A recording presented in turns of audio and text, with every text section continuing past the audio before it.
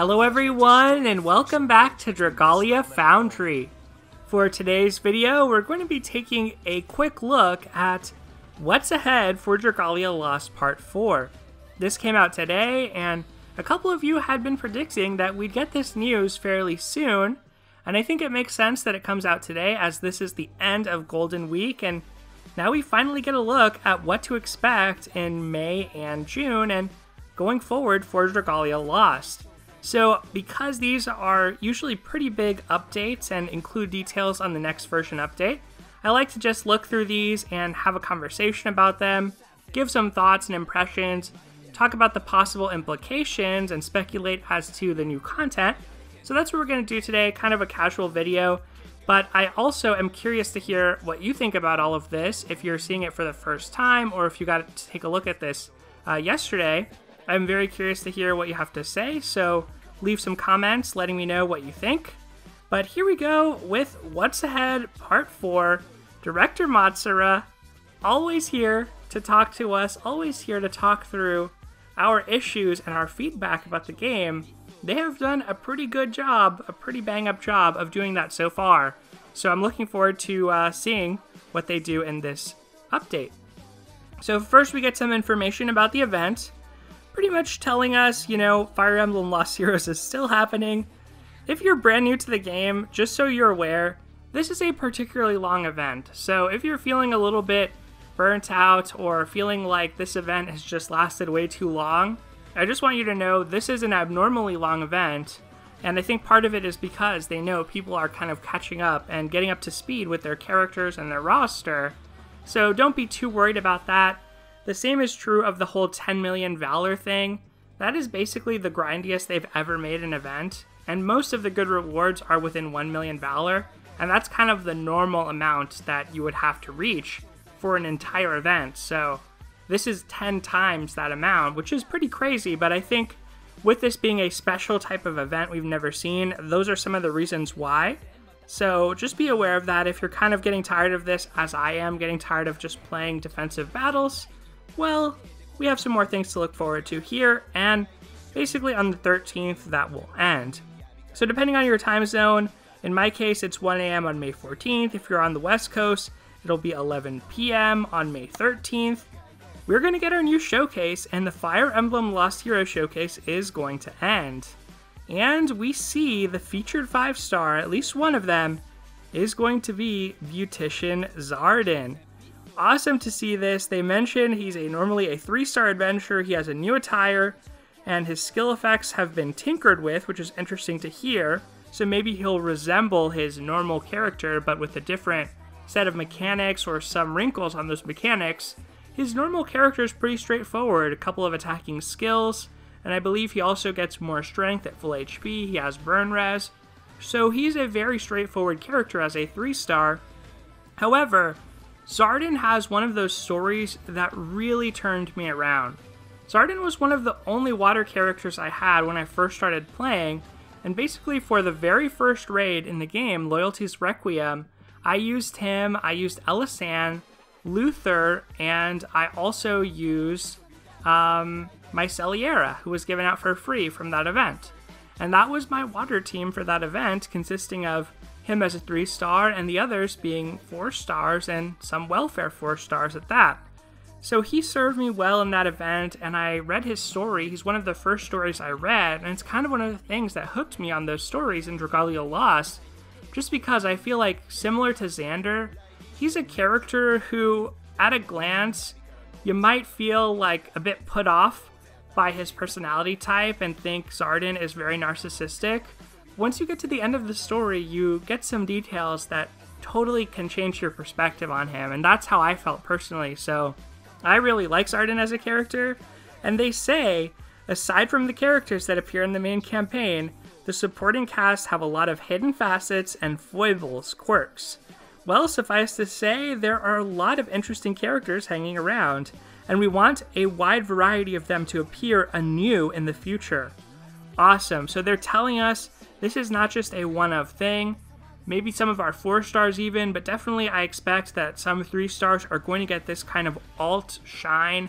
It's almost like giving them their own Gala version or special variant.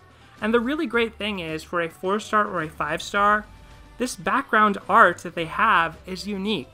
That is one of my remaining complaints with 3 stars, despite the buffs they have received, is, you know, they have kind of a generic background art that all of them share when they're promoted, and 5 stars have a lot of personality in their artwork, so I'm glad Zardin's getting that treatment.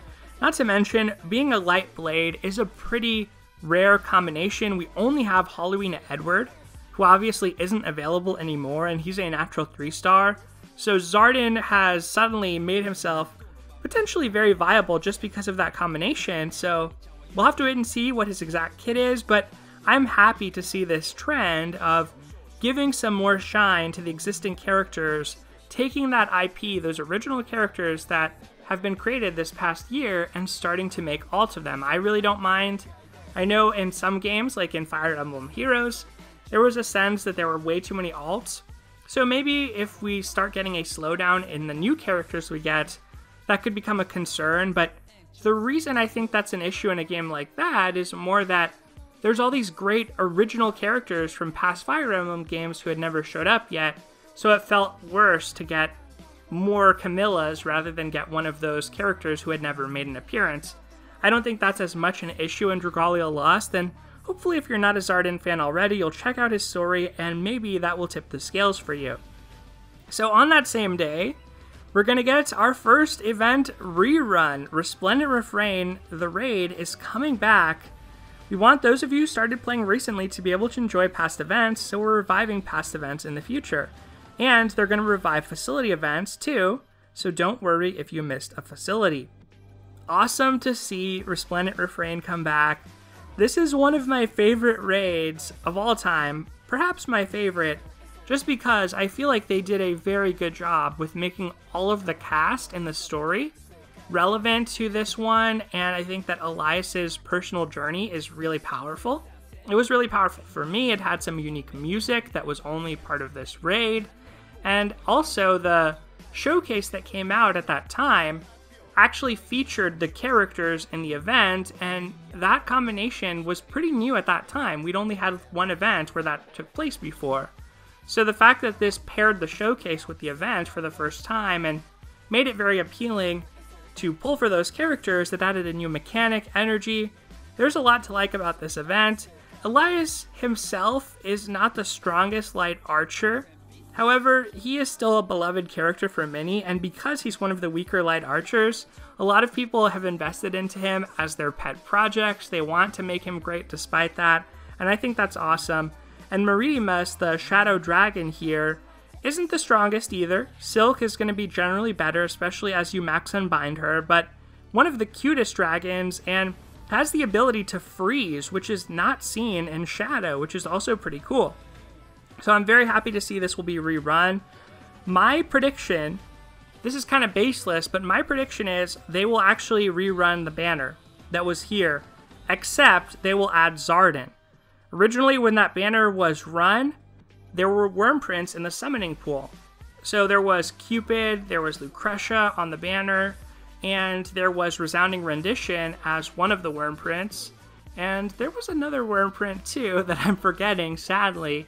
Uh, we had Vixel and we had Pia, but I think we'll probably get Vixel and Pia with a raid up, since people playing the events will probably get excited to try to pull them, and we'll get Zardin as kind of the new thing on the showcase, and we'll get Lucretia with the raid up and Cupid with the raid up.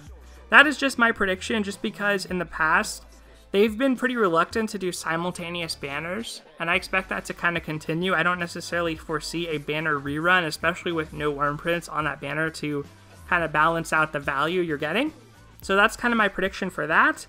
And if you are a more enfranchised player, you already played this event, my hope is that it starts off and all the rewards that you could have collected last time, you start off from where you left off. So if you only got up to a certain number of emblems, you start off at that same point and get to progress the same way moving forward. Just because after such a long event like this Fire Emblem one, I kind of want to take a break. I would like to not have to play this event too much. I would love it if I just have to go in for my dailies, the boss for this Sabnock is fun to battle against.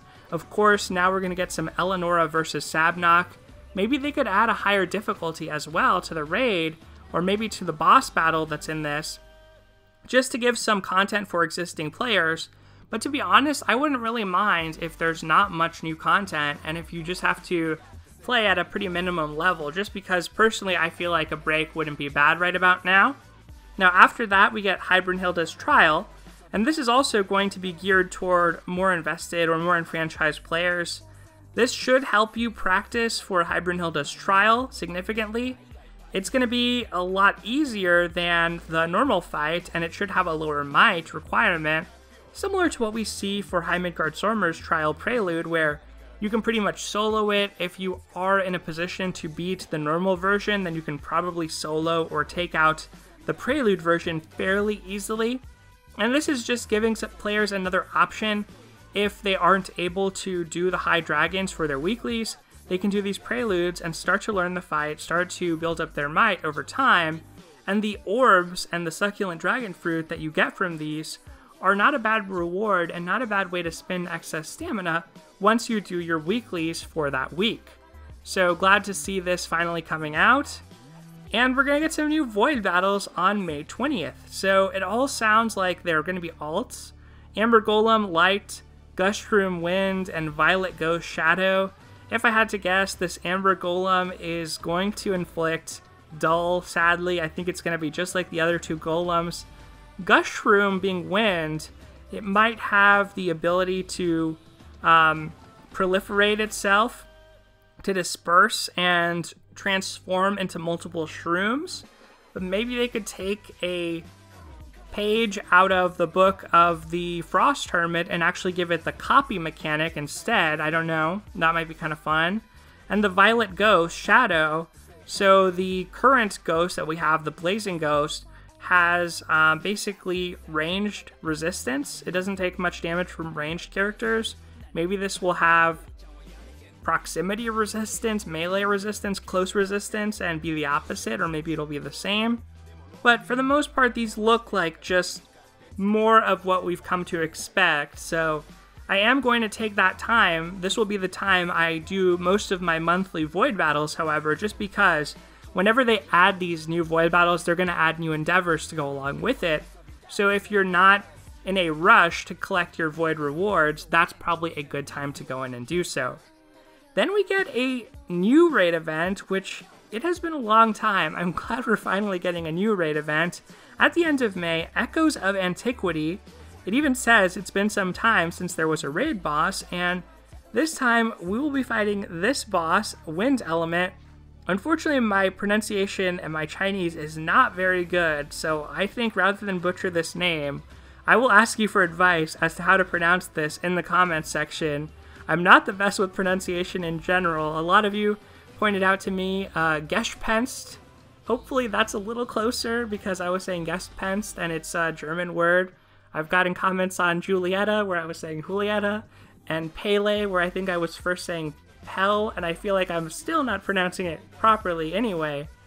However, this looks pretty exciting and apparently from those who are a bit more aware of this, it sounds like it is an adaptation of Journey to the West, which is awesome. This would be kind of the first event that we've had with um, Chinese focused characters, and we did get a Lunar New Year event, but it was set in Taiwu, so it was more based on Taiwan, I feel. And we had an event with Japanese New Year, and it was set in Hinamoto, which is kind of a reflection of Japan.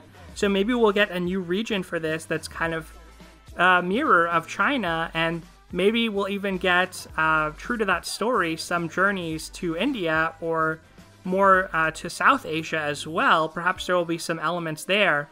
Since we have some dragons like Agni with uh, South Asian names. So, pretty exciting to see this. And we're going to get another Flame Lance as our adventurer. It's our first Flame Lance since our three star that everybody loves, Elaine. So I am looking forward to this. This character looks very cute with the glasses and the headdress. The lance looks really cool. I hope that we get this particular lance, since it doesn't resemble any existing one to me, as a special weapon in this raid. That'd be sweet.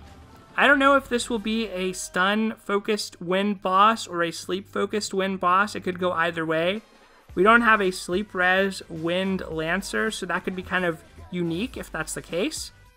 That's going to be a pretty cool event, and I'll probably try stream for some of these raids at least. It's something I haven't done in a while, but raids are a good time to do it, so that's kind of what I'm thinking there. Now for Void Poseidon, we're going to get that in the distant future, mid-June.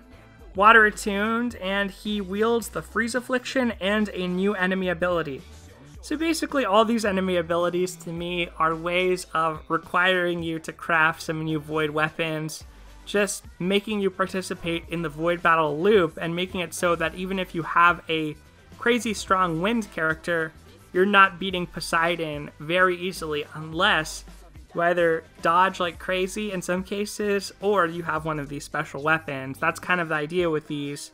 They're really lock and key to these uh, battles because there's not much use of them outside of those battles. Like the mechanics in Agni are not seen in any other battle right now. At least with Zephyr, the dull mechanic does apply to other battles, but Dragon Delay so far does not. So anyway, once we beat Void Poseidon, we'll be able to craft materials, craft weapons, excuse me, for High Mercury. So that'll be probably that'll probably be pretty nice to see. Um, that is still a pretty difficult fight. The entry barrier is low, but the damage requirements are high. So maybe those will have some passives that assist with the damage in that battle, or maybe even something like Shapeshift Prep, which helps in certain phases if you're not running that on your adventurers, clear through waves or tank some of the waterfalls. So that would be really cool. I'm looking forward to seeing what type of mechanic those weapons have, and how Void Poseidon is as a boss. And for the record, it does look like they're going with the original dragons and not the strength dragons like some people had speculated. So the original five five star dragons were Jeanne d'Arc, Nidhogg, Poseidon, Agni, and of course Zephyr, who was the first void boss or harder void boss that we got. So after this, we'll probably see Jeanne d'Arc in a void version, which would be awesome. And I think that we will probably see uh, Nidhogg as well, which would also be cool. So after that, one of the bigger updates, the Mercurial Gauntlet. This will be a recurring event. It will pit you against Fafnir Roy III, a pretty easygoing dragon, so don't expect to need too many in-depth tactics. That's already kind of interesting to me. All you need to worry about is attacking and winning before you're defeated yourself. So it sounds like, based on the language of Gauntlet, that Fafnir Roy III is not going to be the only enemy. There's going to be maybe waves of enemies here. If you're victorious, you'll be able to challenge the next level. You'll get rewards monthly based on your progress. It's a simple way to test your team's strength, so if you have a little trouble keeping up with the action of the more intense battles, you'll hopefully enjoy this content. We plan on implementing this mid-June, so try to prepare a team of each element before then. So a couple of things to point out. They really repeat and emphasize this point. They say here, easygoing dragon. Not many in-depth tactics. All you need to do is attack. And then, if you have trouble keeping up with more intense battles, hopefully you'll enjoy this. So I do think this is going to be a beginner-friendly mode. I think it's going to be something laid back. Maybe something where it's almost like your characters just auto battle or you don't really have to do much effort, you don't have to dodge much but you get to enjoy seeing your characters fight off against these enemies. That's kind of my expectation of it. But the fact that there's multiple challenges and levels does make me wonder because that's kind of a more competitive element or something that you could be more strategic about. So I'm really not sure what this event will fulfill. Ideally, I think it would cater to more enfranchised players and newer players or more casual players alike. But we have some time to uh, to think about it until it comes out, and maybe we'll get a proper preview of it with more details. And the fact that they say prepare a team of each element is the other little nugget here, since before this, it doesn't really say anything about the levels having different elemental focuses, it just mentions this Fafnir, so I guess there will certainly be some accompanying enemies. And you see these materials here. Some of these gems are not seen in the game so far, this one kind of looks similar to a Sunlight Stone or like a Twinkling Grain, just the coloration, But the rest of this, you know, it could just be random loot, or these also could be some new type of material, which may play into another update that I'll mention toward the end of this list. So now the rest of the stuff is mostly quality of life. So we get clear time display. We're going to be able to see that when we clear a quest. And in terms of gameplay, they might use this for future Endeavor conditions, which is awesome. Make it very clear what your clear time was so you don't have to track the clock in the top right corner. You get a very clear indication of that. You can share screens with your friends and compare clear times. Matchmaking with nearby players. If you enable GPS functionality, then you can join nearby players and hopefully have a smoother co op experience. That'd be kind of interesting, perhaps fun, a way to meet people who are close to you or in close proximity, get a better connection. Crafting feature improvements.